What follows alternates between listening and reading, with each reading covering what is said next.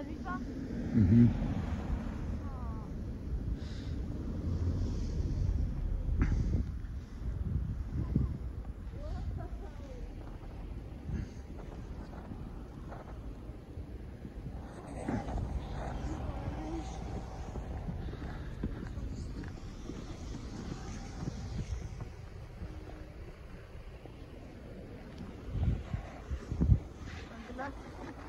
Andor.